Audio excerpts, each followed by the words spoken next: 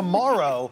Looking like there could be some complications depending on when you're headed outside, Dina? Uh, yeah, definitely a lot of wind and blowing dust as well. And for some people today, there was some heavy rain totals as well. Our old mill camera this evening showing that we have clear skies around, but gusty winds currently sustained at 20 miles per hour here in Salt Lake at a temperature of 73 as well and in Ogden too. So earlier today, we had about four tenths of an inch for a few places in Beaver, Utah, about 0.44 there and nearly three quarters of an inch at Sundance. So higher elevations got a little bit of rain today And around Salt Lake City, we just had, a yeah, just a little bit, a trace to about a tenth in some locations. But now the big story is going to be the wind. So you can see Utah County here highlighted in this tan color because we have a high wind watch for tomorrow. We're expecting very gusty winds, especially along this I-15 section as wind is funneled up here.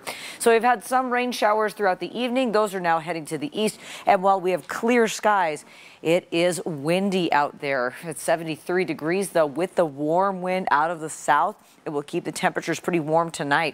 65 in Lehi and 56 in Evanston this evening at 63 in Cedar City and 65 degrees in Moab. Our next storm system, you can really see the sharp defined edge here of this cold front. It's now moving through Idaho at this point, and so it'll be here tomorrow after lunchtime. And the wind gusts with this are even as high as 50 miles per hour, but it doesn't have a lot of precipitation with it. So tomorrow expect a lot of wind patchy blowing dust, especially as this front moves through. And we'll even see an increase in that smoke from the south and west for just the time period as that front goes through. And then things should shift a little bit. A chance for some scattered rain showers along the Idaho-Utah border, but most places will just be dry and really windy. Do want to show you the wind forecast. We don't typically look at this graphic too often unless it's of concern, which it is. So looking at tomorrow afternoon, some of our models projecting wind gusts between 40 and 50 miles per hour. So as you make plans for your Sunday, this definitely is something to keep in mind in the afternoon, patchy blowing dust. So that is going to be a problem for a lot of us.